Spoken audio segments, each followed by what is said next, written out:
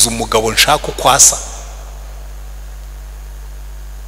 Noneho mfata bibiliya yanjye ntangira gushaka isura y'umugabo imana yishimira.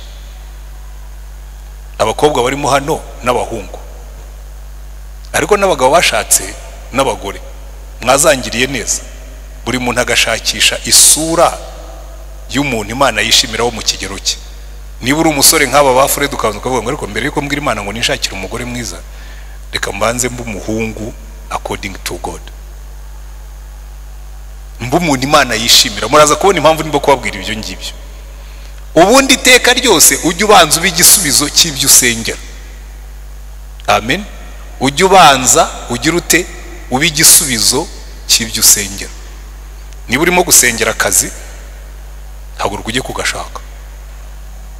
Simba ubyuke mu gitondo yesu yaravuze ngo ngo n'inyoni zo mu kirere. Ngo ntizijya zirirwa ubusa. Ariko nta nyoni ndabona yicaye ku giti ngo yasame imere gutya.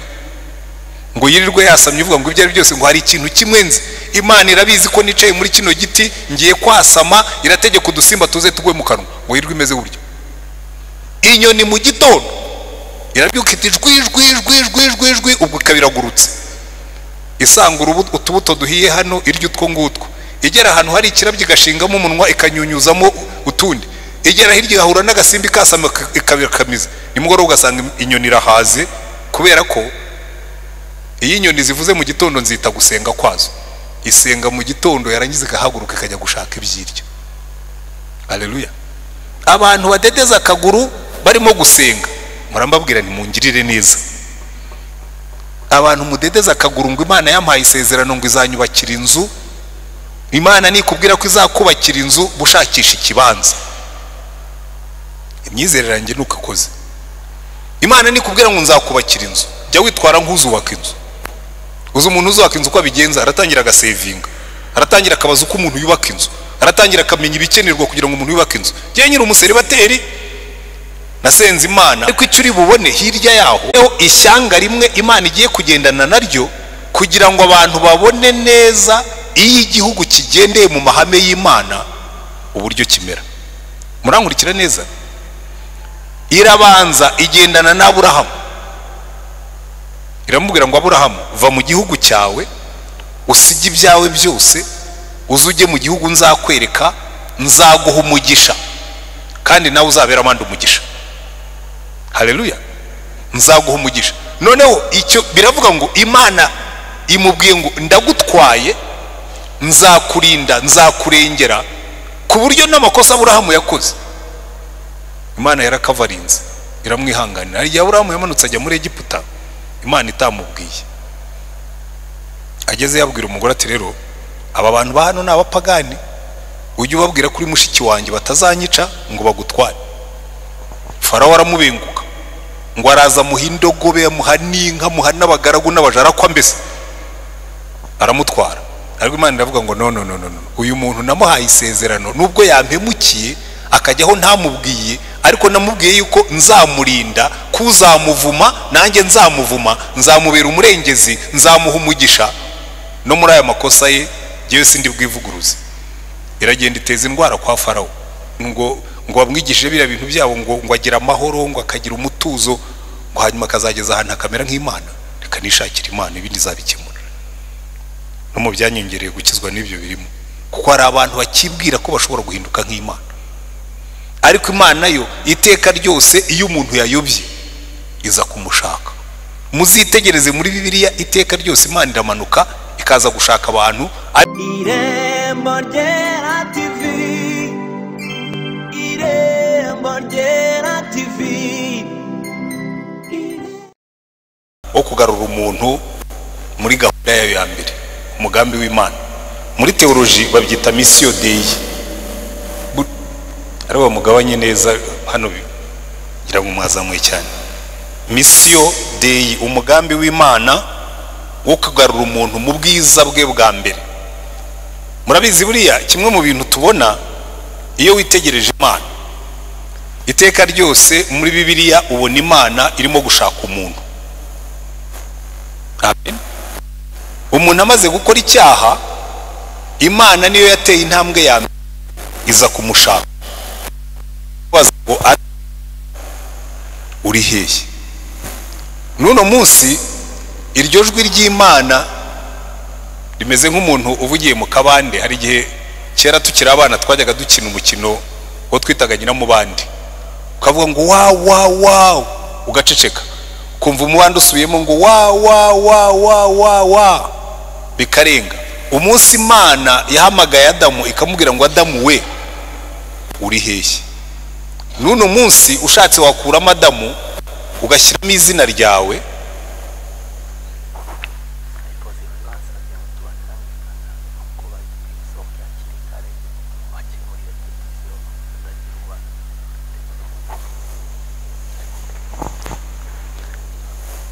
hari ibyo yari arimo kumbwira. So kuva kuva ku munsi umuntu yakoze icyaha agatandukana n'imana dukomeza kumva ijwi ry'imana rihamagara umuntu n'uno munsi. N'uno munsi ijwi ry'imana riracyahamagara umuntu buri wese muri twebwe imana ikubaza ngo ariko uri hehe? Murabizi buriya hari igihe imana ishobora kugushaka. Kandi ntaho wagiye ariko buriya abantu benshi yewe ufatiye no kuba pasitori hari igihe imana igushaka ikakubura ndibuka kera nkikora mu muryango witwa aaa higeze kuza umuhungu ava ruguru iriya iwabo hari ahantu hitwa inyakinama araza yari afite n'inanga ziriya bacuranga zi- zi- z'imiduri. Araza ageze aho twakoreraga hari icyapa ku muhanda. Araza asanga turi mu masengesho mu gitondo araza aricara burya abahanuzi bafite ukuntu bagenda. Aricara noneho turangije amasengesho aravuga ati rero yewe ati imana yantumye hano. Hanyuma ndamubaza nti se yagutumye kuri ndi? Ngo muri mwese abicaye hano ngo sinzi umuyobozi w'iki kigo uwo ari we ngo ariko ni we imana yantumyeho. Ndamubwira ngwino ujye kumbwira ni jyewe turagenda twicara mu biro byanjye. Arambwira ati rwose nyakubahwa muyobozi ati mumbabarire ati ntimundakarire ati imana yantumye ngo nkubwire ngo muri ino minsi iragushaka ikakubura napu ni byo ni byo byari byaguteye ubwoba. Ni nanjye mu gitondo nabyutse nyibwira ngo mana ndambiwe aka kazi katampo ngo mpumeke mbone n'umwanya wo kuza kugushaka. Hari igihe natwe imana ihamagara ngo ariko kanaka we ngo uri hehe ushobora no kuba wicaye hano nawe utanahari. Byaba byakubaho ukicara mu rusengero ariko uri ahandi. Nubwo uhari ariko ukaba utari imbere y'imana. Imana n'uno munsi iracyahamagara ngo ariko kanaka we uri hehe? Umugambi w'imana wo kutugarura mu busabane bwayo. Kuko buriya mu busabane bw'imana ni ho ibintu byose bitunganira. Mu bwami bw'imana ni ho umutekano wacu uba. Mu bwami bw'imana ni ho imibereho yacu iba. Mu bwami bw'imana ni ho uburinzi bwacu buri. Mu bwami bw'imana umuntu wese uzashaka kugira ngo ature mu mutekano usesuye azime ikimana iwe mu rugo. Nurangiza ugendere ku mabwiriza yayo. Kuko iteka ryose imana yaje gushaka umuntu. Kubera ko imana ntishobora kubyibuza. Niyo wayihemukira gatanu yiza kugushaka. Imana yaje kureba kayini mbere y'uko ica- yica beri iraza iramubwira ngo kayini narinje kukureba ngo uko ibyaha byitugatugiye ku muryango kandi ni wowe bishaka. Ngo nubirwanya uzabinesha. Ngo kandi ngo ntubabazwe n'uko igitambo cyawe kitemewe. Ngo nukora ibyiza nawe uzemerwa. Urumva bitari byiza ariko kayini kubera umujinya yari yarakaye aho gutega imana amatwi aragenda ajyana murumuna we bageze mu gasozi ngo arabanza amubwira ibyo imana yamubwiye. Bikwereka kwinangira k'umuntu. Ngo arabanza arabimubwira amubwira ibyo imana yamubwiye. Ati kandi imana yambwiye ngo mfite umugambi wo kukwica ati kandi ndakwishe afata ubuhira aramukubita arapfa. Amaze kumwica imana niyo yagarutse iraza isanga kayini mu murima. Iramubwira ngo kayini mwene so ari hehe kayini ngo ngewe se ngo ndabizi ngo ndi umurinzi wa mwene data se? Undi ngo ya wikwigira nyoni nyinshi. Ngo amaraso ya murumuna wawe wavushije arimo arantakira ngo kandi kubera iyo mpamvu ngo urabe ikivume isi yose yanga. Noneho ngo nuhinga n'ubutaka ngo ntibuzakumerera umwero wabo. Kayini aho kugira ngo anihane aravuga ngo ariko ngo urumva ngo mana ngo icyo gihano mpanishije ngo kirakomeye cyane ngo ubu uzambona wese azanyica. Imana iramubwira ngo ya ndagushyiraho ikimenyetso ntawe uzakwica. Ngo kandi hagira n'ukwica ngo nzaguhorera karindwi. Iteka ryose imana niyo itera intambwe ikaza gushaka umuntu. Muribuka n'abantu b'i babeli batangiye kwigumura. Kavuga ati ariko ubundi kuki tugomba kumvira imana? Ngo harya imana yaravuze ngo tuzororoke tukwire twuzure isi yose twe ntitubishaka. Muze twiyubakire umudugudu tuzamuke tujya mu majyaruguru tujya mu ijuru aho gukwira isi yose. Abadisayiporozi ni kugeza umwa isaha yanyu ya repetisiyo muze kugenda nta kibazo. Noneho imana irimanukira ubwayo iza kubareba. Iraza ngo reka tumanuke tujye kureba ibyo abana b'abantu barimo gukora. Iraza irabareba irabariza aba bantu nzabagira nte koko? Icya mbere narababwiye ngo bakwire isi yose bororoke bagwire none banze.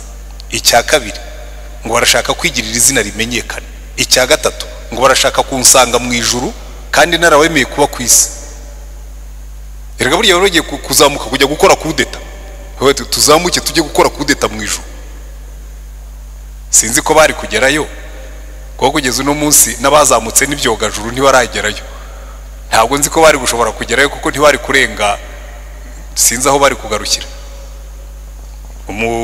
Umurusi umwe yagiye ku kwezi kandi ni ho hafi ushobora kujya uvuye ku isi. Aragenda ageze ku kwezi kuko burya ukwezi ni puranete y'isi. Nta nubwo ari n'iy'izuba. Arazamuka aragenda ageze ku kwezi agarutse baramubwira ngo ariko ngo ko wagiye mu ijuru ngo nta mana mwahuriye mu nzira. Arabwira ati ntayo nta yari ihari rwose. Aho twanyuze mu kirere no ku kwezi nta yari ihari. Ariko ukwezi ni ho hafi ushobora kujya uzamuka ujya mu ijuru. Bariya bo rero no ku kwezi ntibari kugerayo. Ariko mu kwibeshya kwabo bumvaga bazagera mu ijuru badaciye ku mana. N'uno munsi abantu benshi niko bibeshya. Hari abantu muganira akabwira ati ubu ndi imana. Wowe umuntu uhumeka umwuka ukarwara ibicurane uri imana. Ati ubu ndi imana. Ntabwo murumva abantu bavuga batyo. Ngo natwe burya turi imana. Iyi mana irwara iyi mana isinzira iyi mana inanirwa iyi ni imana bwoko ki? Ariko hari abantu babeshya abandi satani burya abeshya abantu buri gihe kababwira ati namwe mushobora kuba imana n'uno munsi baracyabigerageza. Kera mbere y'uko nkizwa reka ndangirize kuri icyo ngicyo ninjire muri texite yanjye nabibonye natangiye kwigisha nabi. Twagiye mu bintu bya meditasiyo taransandantare nari ndimo gushakisha ibisubizo by'ubuzima. Noneho bakora purisite kuri radiyo baravuga ngo abantu bose bumva bafite akajagari ngo bashaka kugira ubuzima bufite gahunda bashaka kugira arumoni ngo bakagira na kreativite nyinshi ngo bazaze babigishe uko bakora meditasiyo ngo hanyuma ngo babigereho ndagenda njyayo ko numvaga nanjye mbishaka. Baratwigisha ibintu byinshi bihambaye batari kuburiya ati hari n'ahantu ugera. Ukaba ushobora ibintu byose kubikontorora ukabitegeka ukaba imana ntoya. Numva bitangiye kuvuza inzogera mu matwi yanjye. Ukaba imana ntoya. Uwo mwana w'umuntu ukaba imana ntoya. Ngira imana turangije. Ubundi byari biryoshye inyigisho zari ziryoshye. Turangije bagiye kubyiga barambwira ati wowe uturuka kure ntituri bukwandike. Ndabahendahenda baranga. Ariko ntashye ngeze mu rugo nari ntuye rurindo ndavuga ariko ubundi nari nsanzwe ndimo gushaka imana. Reka nishakire imana. N'undi ntiwavuze ngo ngo iyo umuntu ngo iyo umuntu ngo ngo bamwigishije biriya bintu byabo ngo ngo agira amahoro ngo akagira umutuzo ngo hanyuma akazageza ahantu akamera nk'imana. Reka nishakire imana ibindi zabikemura no mu byanyongereye gukizwa n'ibyo birimo. Kuko hari abantu bakibwira ko bashobora guhinduka nk'imana. Ariko imana yo iteka ryose iyo umuntu yayobye iza kumushaka. Muzitegereze muri bibiliya iteka ryose imana iramanuka ikaza gushaka abantu ariko bimaze kugeza hagati. Yarekeye aho kujya yiyizira itangira gutuma abantu. Burya kuva ku itangiriro igice cya mbere kugeza yewe no kugeza kuri ba yosuwa imana yari ikiza nyirago ejo twarabibonye. Ariko nyuma yaho yagiye ituma abahanuzi. Kababwira ati sindi bwigire mwebwe mugende mubambwirire. Mugende mubabwire ngo nimugaruke. Nimugende mubabwire ngo nimuhindukire. Kuko buri iri ja- ijambo abahanuzi baje bigisha niryo yohana umubatiza yaje yigisha niryo yesu yaje yigisha niryo abigishwa be baje bigisha batangiriye ku ijambo rivuga ngo mwihane kuko ubwami bw'imana buri hafi. Ririya jambo mwihane tumaze iminsi turyiga. Ririya jambo mwihane repent repentance mu kigiri metanoia bivuga ngo muhindukire mugaruke. Nicyo ubundi ririya jambo rishaka kuvuga. Muhindukire mugaruke. Ariko tuzagenda tubyiga tubigarukaho. Ntabwo ari uguhindukira mukagaruka gusa. Ni uguhindukira mukagarukira imana mugasubira hahandi aho ibintu byapfiriye. Kuko iteka ryose mu mugambi w'imana imana ishaka ko abantu bagaruka bakayumvira. Bagasubira mu bwami bwayo kuko iyo tugarutse mu bwami bw'imana ibintu byose bijya ku murongo. Reka dusome mirongo ibiri nako ntabwo ari mirongo ibiri ni ibice bibiri byo muri bibiliya. Ndasoma mu butumwa bwiza bwa yohana ibice icumi. Ubutumwa bwiza bwa yohana. Ariko reka mbere yuko nsoma muri yohana ibice icumi tubanze dutangirire hino yaho ho gatoya dutangirire muri ruka ibice cumi n'icyenda. Kugira ngo tugende neza. Ruka cumi n'icyenda umurongo w'icumi. Hano baravuga ngo yesu aramubwira uwo ni zakayo yabwiraga aramubwira ati uyu munsi agakiza kaje muri iyi nzu kuko nawe uri umwana wa Aburahamu. Kandi umwana w'umuntu yazanywe no gushaka no gukiza icyari cyazimiye. So, bivuga ngo yesu nawe ubwo aza mu mugambi yagumye muri wa mugambi w'imana kuvuga ngo imana yaje gushaka abari bazimiye. Yesu araza ajya kwa zakayo nta n'ikindi yakoze. Yicayeyo gusa kuko yarabizi ko zakayo amushaka. Arya ibiryo byo kwa zakayo anywa divayi yo kwa zakayo yicarana n'abantu bo kwa zakayo. Igihe kiragera zakayo aribwiriza arahaguruka aravuga tumva rero nkubwire mwami. Amwisa umwami ubu nanjye ngarutse mu bwami bwawe. Guhera uyu munsi sinzongera kwambura. Abo nambuye bose ndabasubiza ibyo nabambuye ndetse mbongerereho n'indishyi z'akababaro. Kandi guhera uyu munsi nshyizeho zaka foundation. Ngiye kujya mfasha abakene aho kugira ngo mbambure. Noneho yesu arahaguruka aravuga ati noneho uyu munsi agakiza kinjiye muri iyi nzu. Kuko icyazanye umwana w'umuntu ni ugushaka icyari cyazimiye. Mu yandi magambo ni ukugira ngo nshake abantu mbagarure kwa data. Hareruya ni iki rero gituma ajya kubashaka? Muri yohani ibice icumi umurongo w'icumi aduha igisobanuro. Akatubwira ngo muhajye tuhasome kuko icyo Yesu yaje kudushakira aravuga ngo reka duhere kuri karindwi nuko Yesu arongera arababwira ati ni ukuri ni ukuri ndababwira yuko ari gerembo ry'intama so ushaka kwinjira kwa data ni gerembo ry'intama. Abambanjirije bose bari abajura n'abanyazi ariko intama ntizabumvise. Ni gerembo umuntu niyinjira muri jye azakizwa. Azinjira asohoke kandi azabona urwuri. So muri yesu habamo freedom. Urinjira ugasohoka ariko mo imbere ukabona urwuri. Ugashisha wumva. Umujura ntazanwa n'ikindi keretse kwiba no kwica no kurimbura. Ariko jyeweho nazanywe no kugira ngo zibone ubugingo ndetse ngo zibone bwinshi. Ni aya magambo ugira ngo twige. Nazanywe no kugira ngo zibone ubugingo kandi zibone bwinshi. Kuko iyo witegereje abantu benshi muri ino minsi dufite inyigisho zivuguruzanya. Hari abantu bamwe bakubwira ngo abana b'imana bagombye kuba bakire bagatunga inzu nziza n'imodoka nziza bakambara neza bakarya neza bakaryama heza. Hakaba n'abandi bakubwira ngo izo ni inyigisho z'ubuyobe. Ko nshimye se ko izo ari iz'ubuyobe izitari iz'ubuyobe zo zivuga ngo iki? Uzi ikibazo kiba muri ziriya za mbere? Ni igice cy'inyigisho.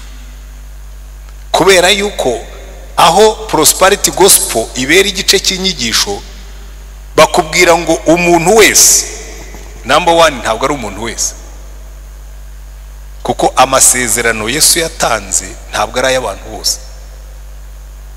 Iyi bibiriya hari abantu bajya kubwira ngo iyi bibiriya ngo bari nkayibwira nti ntabwo iyi bibiriya ikeneye guhindurwa ntabwo ikeneye guhuzwa n'icyo ari cyo cyose kuko niba ushaka kwiberaho mu buryo budahuje na yo uburenganzira urabufite bwo kwibera umupagani. So winsaba guhindura bibiriya ngo nyihuze na biriya ngo nyikosore ahubwo niba ushaka kwiberaho nk'umupagani yivemo. Kuko amasezerano y'imana y'ubugingo bwinshi yesu yavuze ngo ni gerembo umuntu niyinjira muri ge azakizwa. Niyinjira muri ge niyinjira muri yesu azakizwa. Ariko nashaka gusohoka. Irembo rirakinguye. Azinjira cyangwa asohoke. Ufite furidomu yo kwinjira nk'uko ufite furidomu yo gusohoka. Ariko iyo wamaze kwinjira ukajyamo arakubwira ngo niwinjira ukajyamo uzabona urwuri. Kuko icyazanye yesu aravuga ngo icyanzanye ni ukugira ngo abantu basubire hahandi aho bavuye bagire ubugingo kandi bagire bwinshi. Hareruya kuko buriya inyigisho za yesu zatubwiraga amahame y'ubwami bw'imana. Ibitangaza bya yesu bikatwereka demonstrasiyo kugaragaza ubwami bw'imana. Kugira ubugingo kandi bwinshi. Ntabwo tuzagira ubugingo bwinshi abantu bicwa n'inzara. Ntabwo babwira abantu ngo ngo hano ngo hari ubugingo bwinshi kandi abantu bicwe n'inzara. Ntabwo uzabwira abantu ngo hano hari ubugingo bwinshi kandi barimo kwicwa n'indwara. Ntabwo uzabwira abantu ngo hari ubugingo bwinshi kandi barimo kwicwa n'ibyaha. Yesu yaje gukosora ibyo byose aravuga ngo icyatumye nza. Ni ukugira ngo abantu bagire ubugingo kandi bagire bwinshi. Hareruya ariko icyo nshaka kubahuriza ni uko n'ubundi mu mugambi w'imana ni byo imana yari yaragambiriye mbere. Reka noneho duse n'abasubira mu isezerano rya kera. Buriya kuva ku gice cya mbere cy'itangiriro kugeza ku gice cya cumi na rimwe imana iba irimo gukorana n'abantu bose bari ku isi. Babanje ari bakeya bigera mu gice cya cumi na rimwe bongeye kuba benshi. Ko mu gihe cya nako mu gihe cya nowa yabarimbuye ari benshi. Hasigara nowa n'umuryango we. Barongera barororoka baragwira. Mu gihe cya cumi na rimwe bari bamaze kuba benshi cyane. Barongera barirevoluta ariko bwo imana ntiyabarimbura ko yari yabasezeranyije ko itazabarimbura. Ariko icyo uri bubone hirya yaho ishyanga rimwe imana igiye kugendana naryo kugira ngo abantu babone neza iyo igihugu kigendeye mu mahame y'imana uburyo kimera. Murankurikira neza. Irabanza igendana n'aburahamu. Iramubwira ngo aburahamu va mu gihugu cyawe usige ibyawe byose uze ujye mu gihugu nzakwereka nzaguha umugisha kandi nawe uzabera abandi umugisha. Hareruya nzaguha umugisha. Noneho icyo biravuga ngo imana imubwiye ngo ndagutwaye nzakurinda nzakurengera ku buryo n'amakosa aburahamu yakoze. Imana yarakavarinze iramwihanganira. Hari igihe aburahamu yamanutse ajya muri egiputa imana itamubwiye. Ageze yabwira umugore ati rero aba bantu ba hano ni abapagani. Ujye ubabwira kuri mushiki wanjye batazanyica ngo bagutware. Farawo aramubenguka. Ngo araza amuha indogobe amuha n'inka amuha n'abagaragu n'abajarakwa mbese? Aramutwara. Ariko imana iravuga ngo no no no no uyu muntu namuhaye isezerano. Nubwo yampemukiye akajyaho ntamubwiye ariko namubwiye yuko nzamurinda kuzamuvuma nanjye nzamuvuma nzamubera umurengezi nzamuha umugisha. No muri aya makosa ye ngewe sindi bwivuguruze iragenda iteza indwara kwa farawo. Baza kumubwira ati ngira ngo n'abakonikoni be bamubwira ati ariko icyaguteje izi ndwara ni uriya mugore w'abandi watwaye. Farawo arazabwira aburahamu se uyu mugore ko yari umugore wawe kuki wambeshye ko ari mushiki wawe? Aterega ubwo ureba. Ati ubundi ni mushiki wanjye uretse ko tudahuje data n'ibindi byose. Farawo aramubwira ati subirana umugore wawe ngo amwongereraho n'ifeza n'izahabu. Aburahamu arabitambikana. Yisubirira i kanani mu gihugu cy'amasezerano. Aragenda ageze wenda no kongera kubigerageza. Buriya aburahamu hari utuntu tw'utugeso tuba ku muntu. Hanyuma ngo bukeye umwami waho aramubwira ati ariko uriya ni umugore wawe warambeshye ariko we ntabwo yigeze amwegera. Rero icyo mbabwira aburahamu imana yaramurinze ariko aho bigaragarira cyane. Ni ku muhungu we isaka. Isaka nawe yagenze muri kiriya gihugu cy'amasezerano ngo bari bakizerera kuko bari bakiri bakeya. Noneho mu itangiriro ry'igice cya makumyabiri na gatandatu bibiriya yatubwira ngo imana yaraje ivugana na isaka. Umurongo wa kane n'uwa gatanu igice cya makumyabiri na gatandatu mu itangiriro. Imana iza gushaka abantu bayo ngo ibahe ubugingo kandi bwinshi cyangwa ubuzima bwinshi. Umu- umurongo wa kane n'uwa gatanu mu gice cya makumyabiri na gatandatu cy'itangiriro baratubwira ngo kandi kandi nzagwiza urubyaro rwawe ruhane n'inyenyeri zo mu ijuru nzaha urubyaro rwawe ibi bihugu byose kandi mu rubyaro rwawe nimo amahanga yo mu isi yose azaherwa umugisha. Kuko aburahamu yanyumviraga akitondera ibyo namwihanangirije n'ibyo nategetse n'amategeko yanjye nandikishije n'ayo navuze. Imana ibwiye isaka ngo muri iki gihugu nzahaguhera umugisha mwinshi.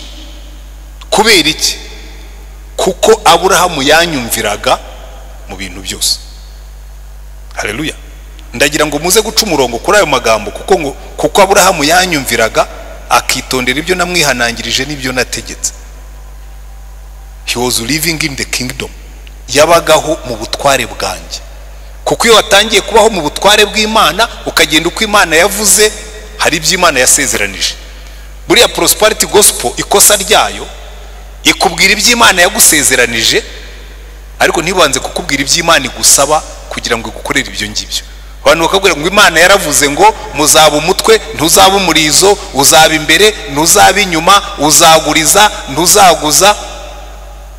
Ibyo imana yarabivuze koko ariko ntabwo ari byo yavuze byonyine. Ako ni agace k'inyuma k'ibyo imana yavuze. Kandi muzitegereze iteka ryose mbere y'uko imana ivuga amasezerano irabanza igatanga amabwiriza n'amategeko. Kondishono kakubwira ngo hariya mwitegereze yesu yaravuze ngo umuntu niyinjira muri jyewe azabona urwuri. Kondishono umuntu niyinjira muri jye. Yaje ngo ngo intama zibone ubwatsi yaje ngo tubone ubugingo kandi bwinshi ariko ono kondisheni ko winjira muri we. Turaza kubibona. Kuko abantu benshi the way reka mvuga ikintu ku byifuzo. Vuga ikintu ku byifuzo. Hari igihe abantu batanga ibyifuzo ukabisoma ukabisengera kuko ari ibyifuzo abantu batanze ukavuga ngo ariko uwamuye umuntu ngo mbanze mugire inama. Uwamuye umuntu ngo mbanze mugire inama. Kuko hariho nk'ibyifuzo usoma ukabona birimo umujinya mwinshi. Uyu wamumpa nkabanza nkamubwira ngo niba ushaka ko imana izahindura abandi banza nawe uhinduke hari ukuntu umuntu yandika icyifuzo ukabibona neza yuko ni icyifuzo kivuye mu mutima urakaye. Hari ukuntu umuntu yandika icyifuzo ukabibona yuko kivuye mu mutima nabivuga ngo iki? Reka mbaye nk'urugero ariko ntihagire umuntu ugira ngo wenda ndimo ndakritika kuko biba byanditse mu byifuzo. Bavuga ngo mana ngo uzampere umwana umugabo mwiza. Ngo ariko uzamurinde umugabo w'umukene. Already iyo byanditse gutyo binyereka ngo urimo uraha imana kondisiyo kuko imana ishobora gufata umwana wawe ikamuha umugabo w'umukene kuko izabakiriza hamwe. Jya usaba umugabo imana yishimira ariko n'ikindi cya kabiri wenda ibyo ndabivuga kuko harimo ibyifuzo byinshi by'urubyiruko hari igihe umuntu avuga ngo mana ngo ndagusaba ngo uzampe umugabo mwiza ngo uzampe umugabo umeze gutya ngo uzampe umugabo umeze gutya. Ashaka kumubwira ntariko ubije ikakubaza ngo se mbere yuko unsaba umugabo umeze gutyo wowe uri umukobwa nishimira? Kera njya mbibabwira hano mbubuhamya cyangwa iyo nigisha bubatse. Kera njyewe nkiri umusore nanjye nasabaga gutyo. Nkabwira mana uzangirire neza umpe umugore ariko ibyo nabivugaga amaze gukizwa. Uzangirire neza umpe umugore uzandinde ubwoko butatu bw'abagore mana. Uzandinde umugore w'umunyamahane uzandinde umugore w'umusambanyi uzandinde umugore w'umunywanzoga kandi reka mbabwire kimwe mu bintu nihannye ntinze n'inzoga zirimo. Wowe wumva ko ufite uburenganzira bwo kwinywera inzoga ariko umugore uzarongora ntabwo agomba kubanywa inzoga. Ubundi iyo wicaye ugasaba imana ngo izaguhe umugabo mwiza cyangwa umugore mwiza. Wari wabanza ukibaza ikibazo ngo reka mbanze nuzuze iby'imana isaba kugira ngo mbe umuntu imana yishimira ishobora gushyingira umwana wayo. Nibura ubanziriza aho ngaho ubanza ukora uruhande rwawe. Noneho bukeye imana iranyihererana irambwira ngo ariko ubundi rwose ndabibona. Icyo gihe n'inzoga nari narazivuyeho. Ndabibona rwose n'inzoga wazivuyeho ariko si uzi umugabo nshaka uko asa noneho mfata bibiliya yanjye ntangira gushaka isura y'umugabo imana yishimira. Abakobwa barimo hano n'abahungu. Ariko n'abagabo bashatse n'abagore. Mwazangiriye neza. Buri muntu agashakisha isura y'umuntu imana yishimira wo mu kigero cye. Niba uri umusore nk'aba ba furedi ukabanza ukavuga ngo ariko mbere yuko mbwira imana ngo nishakire umugore mwiza reka mbanze mbe umuhungu according to god. Mbe umuntu imana yishimira. Muraza kubona impamvu ndimo kubabwira ibyo ngibyo. Ubundi iteka ryose ujye ubanza uba igisubizo cy'ibyo usengera. Amen. Ujye ubanza ugire ute? Uba igisubizo cy'ibyo usengera. Niba urimo gusengera akazi haguruka ujye kugashaka. Simba ubyuke mu gitondo yesu yaravuze ngo ngo n'inyoni zo mu kirere ngo ntizijya zirirwa ubusa. Ariko nta nyoni ndabona yicaye ku giti ngo yasame imere gutya. Ngo yirirwe yasamye uvuga ngo ibyo ari byose ngo hari ikintu kimwe nzi.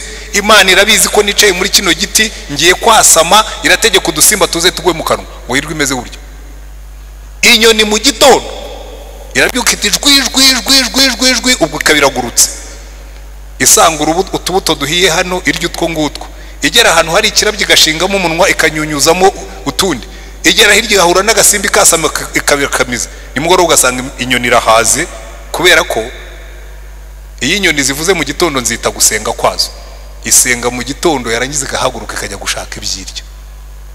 Aleluya abantu badedeza akaguru barimo gusenga.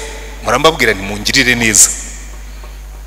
Abantu mudedeza akaguru ngo imana yampaye isezerano ngo izanyubakira inzu imana nikubwira ko izakubakira inzu bushakisha ikibanza. Imyizerere yanjye ni uko ikoze imana nikubwira ngo nzakubakira inzu. Jya witwara nk'uzubaka inzu. Uzi umuntu uzubaka inzu uko abigenza? Aratangira agasevinga. Aratangira akabaza uko umuntu yubaka inzu. Aratangira akamenya ibikenerwa kugira ngo umuntu yubake inzu. Njyewe nyiri umuseribateri nasenze imana ko nari ndambiwe umuntu witwa nyirinzu. Nari mfite nyirinzu yangiriye neza imana irakamuha umugisha. Buri gitondo ukwezi kwenda gushira muri za makumyabiri na gatanu yarazaga no ku idirishya ryanjye. Toko toko toko toko toko. Antwana antwana ntikarame. Ubwo mu gitondo. Saa kumi n'ebyiri. Nari nje kukubwira ko ukwezi kuzapfa ejo bundi nzasanga amafaranga yanjye wayateguye. Uyu mugabo ko ntaramwambura kuki aza kunkomangira buri gitondo anyibutsa ko ndi umukode. Ariko bintera gusenga imana rero mana umunsi nzaba mfite umugore uzandinde kuba umukode. Uzandinde umuntu witwa nyirinzu. Ariko kubera ko ya logike yanjye nababwiraga ntangira gutekereza ntangira kwiyumva mfite inzu. Hanyambwira abarimu twakoranaga nka ni jyewe nzarongora mfite inzu. Sha wagiye uca bugufi. Umuntu w'umwarimu wigisha ururindo ugira inzu i kigali. Jyewe nzayibona. Ndagenda mbaza muramu wanjye waratuye hirya ya za kimisagara namwe umuntu ashaka inzu i kigali yategura nk'amafaranga angahe? Arambwira ati biterwa n'inzu ushaka. Icyo gihe zarabonekaga ubu ntuzayishake. Ariko nabwo ntuzayitinye. Arambwira ati ufite nk'ibihumbi magana atatu. Atubona za nzu z'ibyumba bibiri na- na- n'agasaro urazizi za zindi zifite na ka mu gikari. Ariko wumva iyo nzu wumva ni ntoya cyane.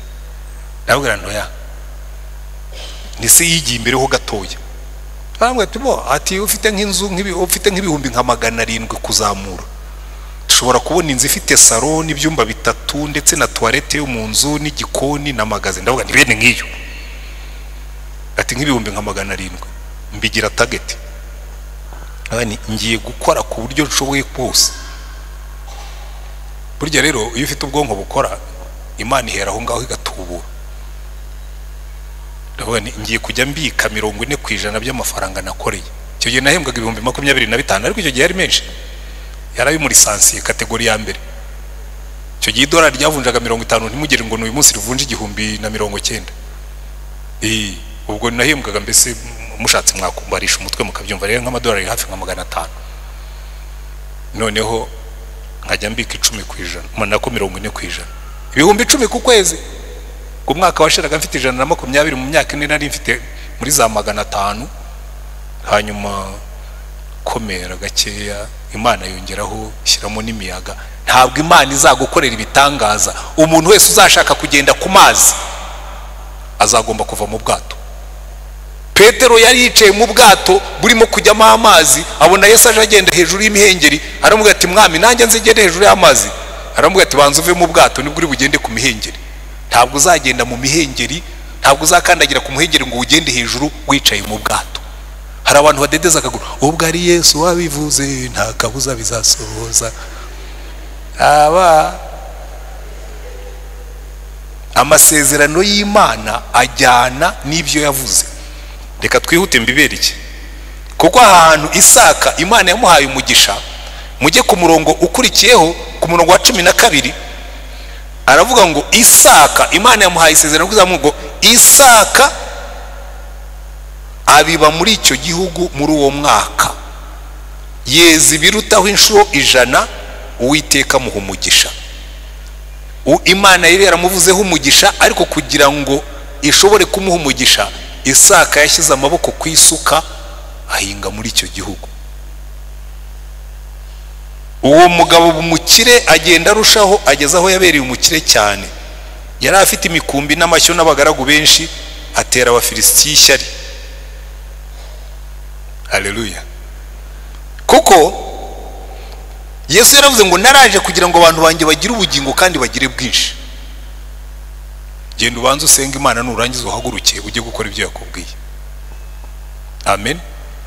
Fred niba ushaka umugore ujye ugenderera abakobwa. Bakumenye nawe bamenye. Umenye kuganira nabo ni bwo uzamenya ugukwiriye n'utagukwiriye. Byoroshye gutyo. Hari umuntu wicara akavuga ngo buriya ngo bazanyizanira abazakwizanira bazaza bakubariye. Muri ino minsi ujye witondera abakwizanira cyane cyane. Muri ino minsi hari abantu b'abahigi. Kazi. Abanza akagukarikira neza akakubaririza akabaza umufurendi ukora muri banki hamwe atari ko furedi ko namubonye aza aho ngaho muri beka? Niho abitsa. Wandebeye ku izina rye ni ho hari konti ageraho muri beka. Yamara kubona ufitemo agatubutse akaza ubu rero rwose jyewe ubwo ureba n'ibintu by'amafaranga ntacyo bimbwiye jye gusa narakubonye numva eh mujye mwitonda muri ino minsi isi yameze amenyo. Ntacyo mvuze. Ariko ubwo aba muri iyo domene barabizi. Umukobwa umwe yigeze kuza arambwira ati ati ko hari umuhungu nashakaga kumenya ibye. Ntiwajya ukamusura se. Ngo ya ngo ndashaka gusaba inforomasiyo ngo ateye ati ntisimbizi ngewe ntabwo ibyo mbabona bagenda nta uzajye kumusura ni bwo uzamenya uko ateye. Arambwira ngo yamukozeho ubushakashatsi. Nawe ngewe ntabwo ndi bugufashe. Wowe urimo urakora ubushakashatsi wagiye gusanga umuntu mukamenya. Nibwo uzamenya niba ushaka umuntu uhaguruka ugende. Hari amasezerano imana yaduhaye kandi zakuyobora. Amen. Isaka yari afite amasezerano ariko yabanje kurambura amaboko arakora. Imana imuha umugisha. Niyo niyo mpamvu ngira ngo dufate amagambo dufite mu gutegeka kwa kabiri kuko baduha icyerekezo cy'imibereho mu bwami bw'imana. Life in the kingdom. Gutegeka kwa kabiri igice cya makumyabiri n'umunani.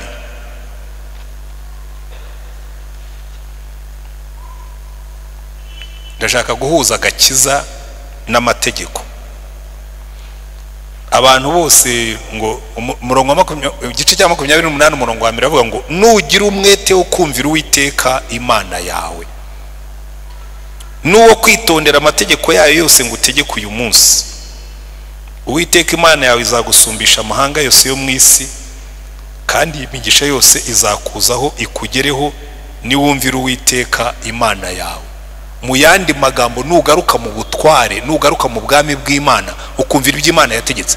Aya magambo rero abantu bajya bayumva nabi. Ntabwo imana yavuze ngo niwumvire amategeko icumi y'imana. Yaravuze ngo niwumvira amategeko n'amateka yanjye. Amategeko n'amateka bivuga iki? Abantu benshi kubera ko dukizwa ku buntu bageze aho ngaho andi mategeko yose y'imana bayakuraho.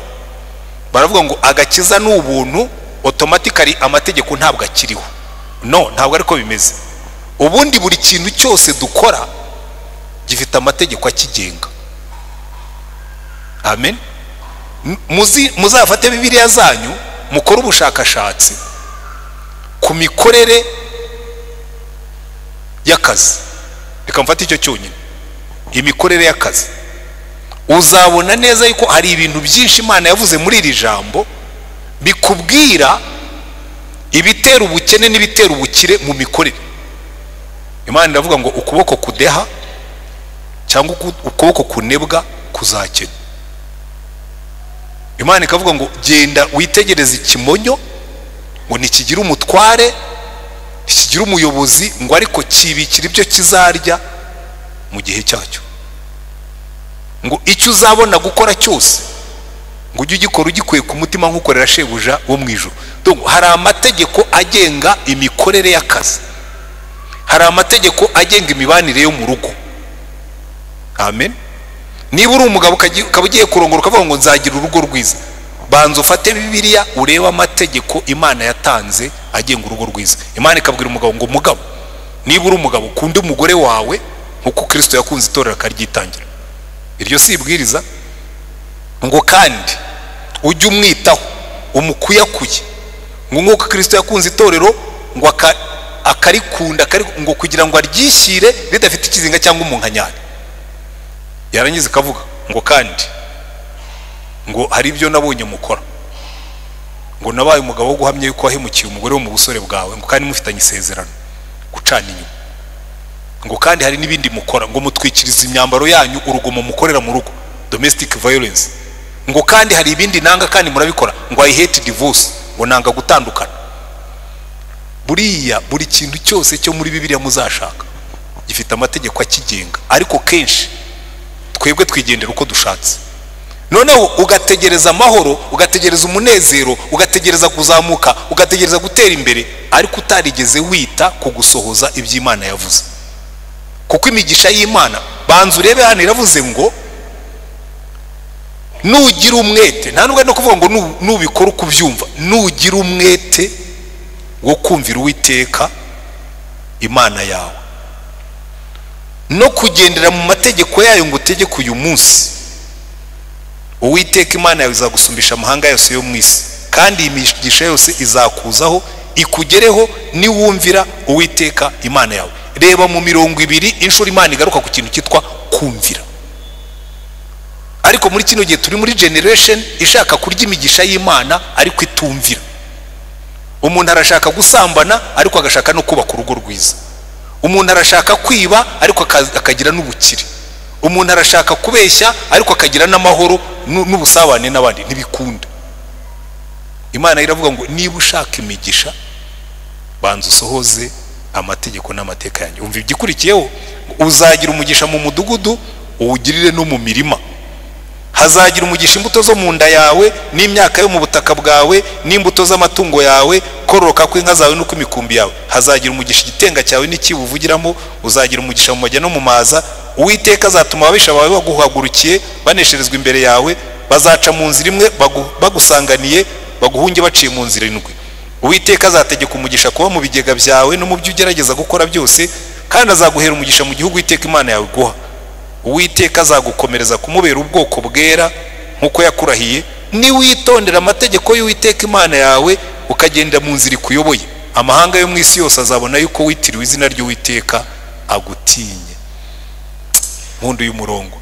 Amahanga yose azabona ko witiriwe izina ry'uwiteka. Agakiza kawe ubuhamya bwawe buzamenyekana. Hanyuma bakubahe. Haleluya iyo rero yesu avuga ngo abantu ngo bazagira ubuzima ngo kandi bwinshi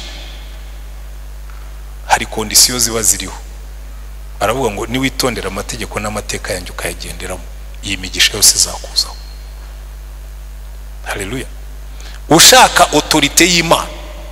Hano dufitemo abantu benshi batanze ibyifuzo ngo mana ngo ndashaka kuzura umwuka ndashaka kugira imbaraga z'umwuka. Niba ushaka kuzura im- imbaraga z'umwuka banza wumvire imana. Ugendere mu mategeko n'amateka yayo. Njya mbabwira hano igituma umupolisi ahagarara mu muhanda agahagarika imodoka. Aba yambaye uniform. Umwe muri twebwe wambaye nk'uku twambaye niyo yaba ari umupolisi ubusanzwe. Akifata akajya hariya mu muhanda yambaye nk'uku nambaye agatangira guhagarika imodoka.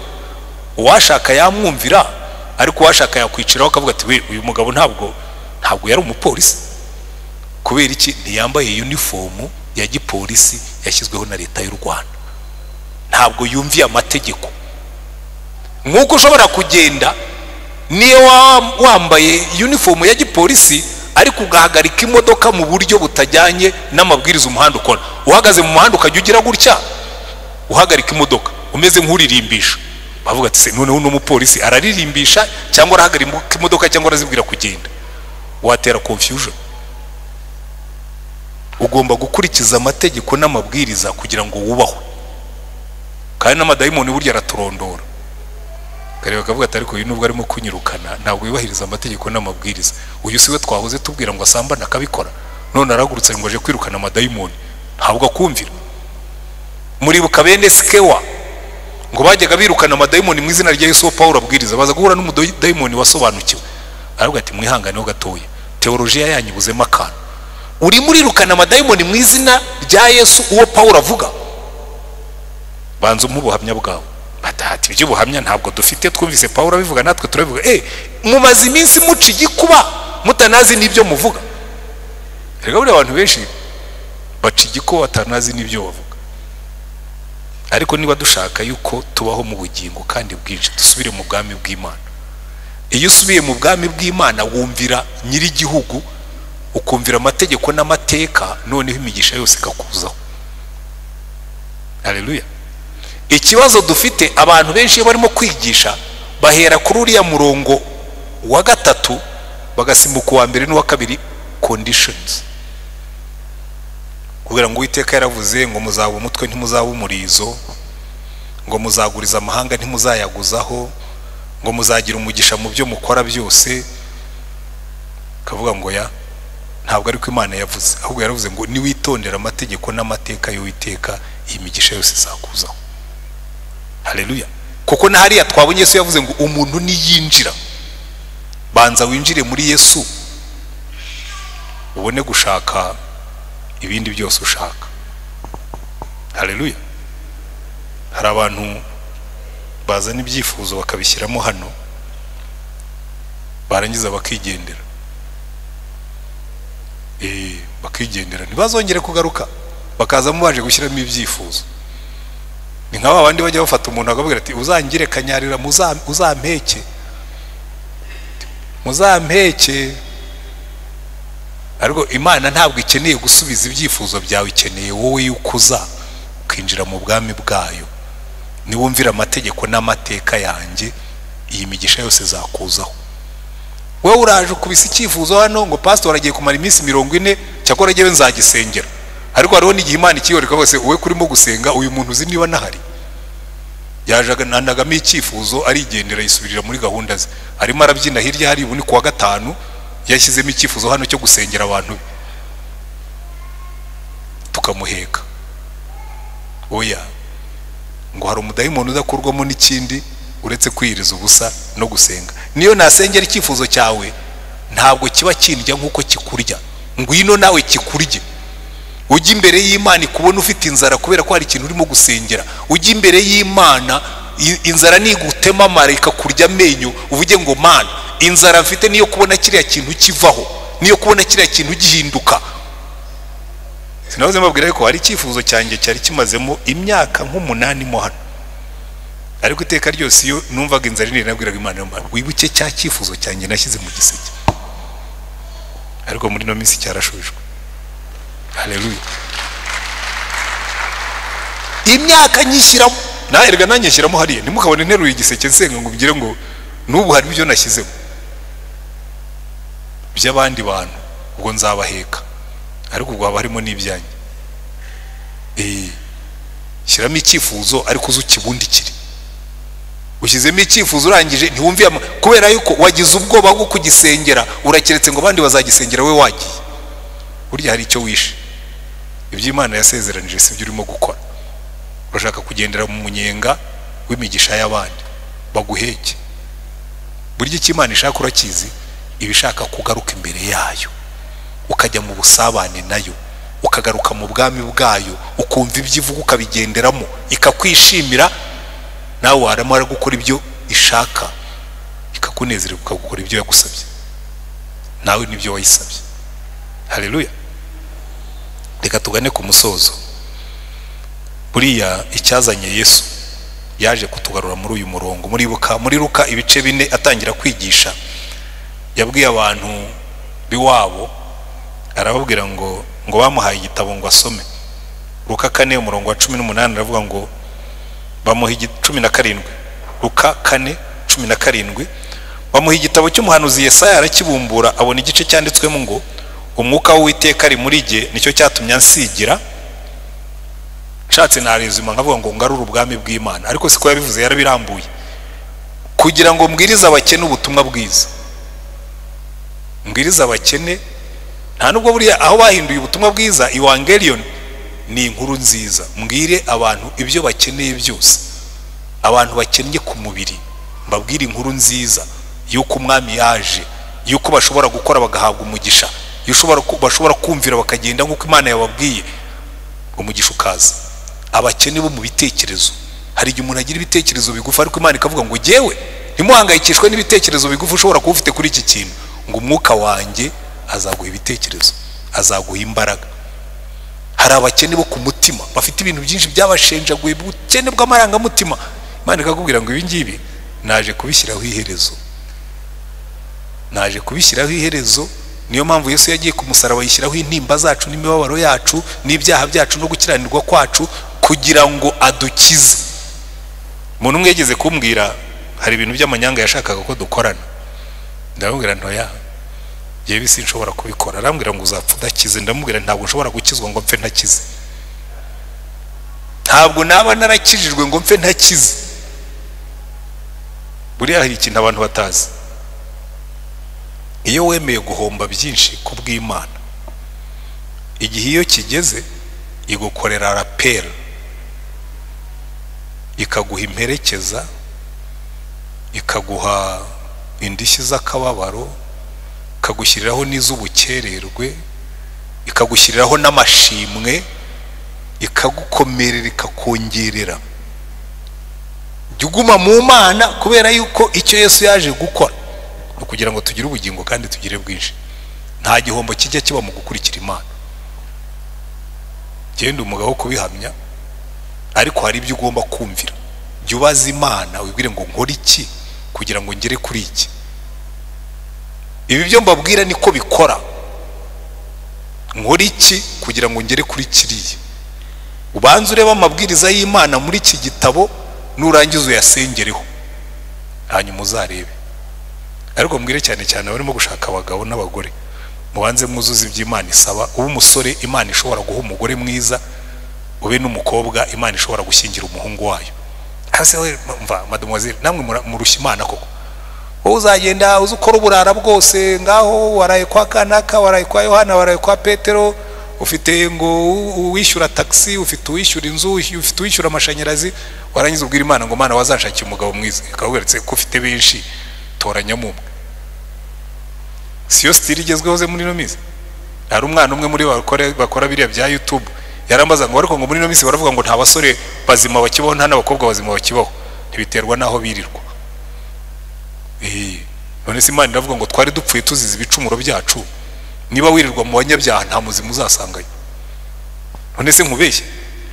Ariko niba wirirwa mu bubaha imana twe turacyari bazima. Yesu yaraje ngo tugire ubugingo kandi tugire bwinshi. Abundant life. Ariko mubanze mwinjire muri yesu. Abenshi mwinjiye mu idini ntimwinjira muri yesu. Ntabwo uzabona abundant life mu rusengero. Ntabwo ariho itangirwa itangirwa muri yesu. Mo! Kwinjira muri yesu ukajyamo wese. Ntihagire n'agasigara inyuma kuko hasigaye inyuma niko satani afata. Iyo usize akaboko inyuma niko akoresha. Iyo wasize akaguru inyuma niko akoresha. Icyo usize inyuma ni cyo satani akoreramo. Injira muri yesu neza. Kuko muri we mo inside ni ho bibonekera. Yaje ngo abakene babwirizwa ubutumwa bwiza yantumye kumenyesha imbohe ko zibohorwa. Abantu baboshywe n'ibintu byinshi. Hari ababoshywe n'ibyaha. Hari ababoshywe n'inzoga hari ababoshywe n'ubusambanyi hari ababoshywe muri cyakora bene abo ndabakunda cyane. Hari abantu bashyiramo ibyifuzo bavuga ngo mana ndagusabye umbohore umugozi w'ubusambanyi. Bene abiyo mbagezeho ndavuga nk'uyu wamunzanira ngo mubwire ko yesu yabirangije. Umbohore umugozi w'ubusinzi umbohore umugozi hari imigozi myinshi batanzeho ibyifuzo. Abo rwose mbakira nezerewe. Turasenga imana ngo iyo migozi yose icike. Kuko yesu yaje kubohora yantumye kumenyesha imbohe ko zibohorwa. Abafite ibibaboshye byose waba uboshywe n'agahinda waba uboshywe n'umubabaro waba uboshywe n'u- n'ubusinzi waba uboshywe n'ubusambanyi waba uboshywe ikikuboshye icyo ari cyo cyose uyu mugoroba ubwira imana ngo mana mwami yesu ndabizi ko ari cyo cyakuzanye ngo mbohoke bohora umutima wanjye. Haleluya. Ngo yaje no kubwira impumyi ko zihumuka. Hari abantu bagenda batabona. Ntibabona imana ntibabona abandi. Na za opportunities imana yashyize imbere yabo amahirwe n'imigisha imana yashyize imbere yabo ntibayibona hari abantu bicara mu gihugu. Hari abo njya mbwira rwose akantelefona nkamubwira numva hindura imvugo. Umuntu akakubwira ngo nta kintu na kimwe ngo nta kintu na kimwe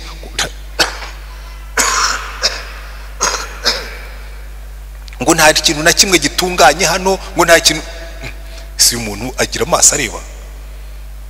Dusigaye dufite amazu meza dufite imihanda myiza dufite imijyi byiza ariko we ntagire ikintu abona kizima. Kubera iki? Kubera ko satani yaramubwiye ngo nta mu none we yarangiza konkuriziyo akavuga ngo unsengere kugira ngo njye gushaka amahirwe ahandi. Nawe nujya n'ahandi ntuzayabona. Ntuzajye gushaka amahirwe ahandi imana itakubwiye kujya kuyashakayo. Ni imana yakubwiye ngo ujye gushaka amahirwe ahandi. Ngo ndabona hano byaranze igiye gushaka amahirwe ahandi. Bambe kereka ari imana yabikubwiye. Nubona imana yakubwiye ngo haguruka ngiye kuguhera umugisha muri amerika. Ntuzajijinganye uzahita ugenda. Ntuzanarara ino. Ariko imana itabikubwiye mwana we ushobora kujyayo ukazagaruka mu rwanda warabaye igisenzegeri. Kuko amahirwe abaho imana yakujyanye. Ariko ntuzabanze ngo ube negativu muri wowe. Humuka amaso urebe ibyo imana ishaka gukora. Ngo no kubohora ibisenzegeri. Hari abantu bashengabaye kabisa abishwe n'intimba abahemukiwe. Yesu akavuga ngo naje ngo abo ngabo nabo mbasane. Eh, hari abantu kabisa aba ngabo bo nta n'icyo bavugaho kibi. Kandi hari igihe ubibona umuntu akabwira ati rwose maze imyaka mu gahinda mwami yesu ugira ikintu ukora ku gahinda kanjye. Ukamubwira ngo yesu yaje gusana imitima yose yabaye ibisenzegeri. Hari n'igihe umutima waba warashkotaguritse imana ikawureba ikavuga ngo ya uyu nguyu wose ndi buwusane ndaguteramo umutima mushya. Wenda nawe hari igihe ujya wumva warashize. Abakecuru nibo bakunda kubwira uti umukecuru urwaye ati nta hazima harimo. Ati hose naraboze. Hari abantu usanga ari ibisenzegeri hose yaraboze. Imana ikavuga ngo nta kibazo mfitemo ndaguteramo umutima mushya. Niba umutima wawe warashkotaguritse ukaba uri igisenzegeri uyu mugoroba umenye ngo icyazanye yesu ni ukugira ngo ugire ubugingo kandi ugire bwinshi. Muri domene zose. Haleluya waba yicayemo hano warahemukiwe hari igihe abantu baguhemukira bamwe bagahera iburyo abandi bagahera umutima wawe ugashkotagurika ugasigara umeze nk'u- nk'urutete. Imana ikavuga ngo ntuhangayikishwe n'umutima w'urutete ndaguteramo umutima mushya. Kuko yesu yaje ngo tugire ubugingo kandi tugire bwinshi. Ariko kugira ngo bishoboke injira muri yesu. Dusenge imana. Kandi niba wicayemo uyu mugoroba wumva umwuka w'imana arimo kuvugana nawe ko hari imigozi ikugize imbata ikaba ikubuza kwinjira mu bugingo bwinshi. Ubwo yesu yazaniye abantu be. Ukaba ufite ibintu byashkotaguye umutima wawe. Bikaba bikubuza kunezerwa. Uyu ni wo munsi. Irembo ryera irembo ryera irembo ryera irembo ryera irembo ryera yeah.